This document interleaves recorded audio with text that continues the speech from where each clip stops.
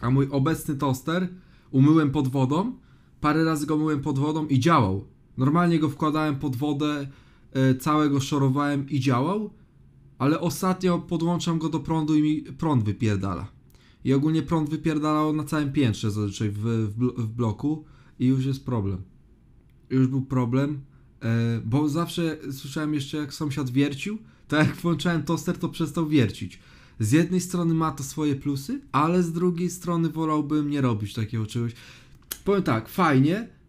Kurwa, jakbym chciał spać, to bym zostawił y, włączony ten toster, nie celowo. E, ale nie, nie zrobiłem tego. Ale kurwa, dzisiaj, kurwa, ja mam ludzi, co od 8 rano napierdalają młotkami, wiercą od 8 rano. Rozumiesz to? I kurwa kończą o 15.